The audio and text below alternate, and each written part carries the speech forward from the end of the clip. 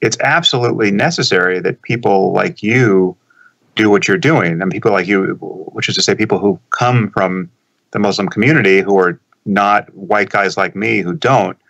Because uh, I mean, even I mean, as much as we agree about all of this and are trying to play the same game, I can't do what you're doing, right? Like I, all I can do is support you, and you know, I, I do that as as uh, you know in any way that I can. But um, it's it's very clear that the it's just a it's a different effect, as you say, to have someone from the outside criticizing the faith, uh, uh, and uh, having having someone from the inside, or who used to be on the inside, criticizing it. And so that's we need more and more people doing what you're doing, and we need more and more people doing what I'm doing because it's uh, the the taboo around criticizing uh, religion has to be lifted, and the the taboo around criticizing religion specifically ha, ha, has to be lifted. And this is a taboo that's that I was surprised to find in the atheist community, which just when I wrote the book The End of Faith, which was you know generally considered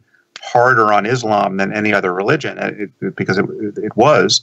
Um, it, I, I, encountered this surprising uh, commitment among fellow atheists, w- which suggested that you had to be even-handed. You like all religion. All religion is bad, and all religion is equally bad. Uh, yeah, I mean, all of these taboos just to have we just have to knock them down, and the only way to do that is to violate them and show people that uh, that can be done, and it's more compelling to do it because it's more consistent to do it. It's more honest to do it. Secular Jihadists is an increasingly influential podcast with much of its growing audience in Muslim majority countries, advocating for atheists secularists, and Enlightenment thinkers.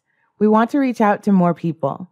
If we reach 500 patrons, we will be able to translate our shows into Arabic, Urdu, Persian, Bengali, Malay, Turkish, and other languages in these countries.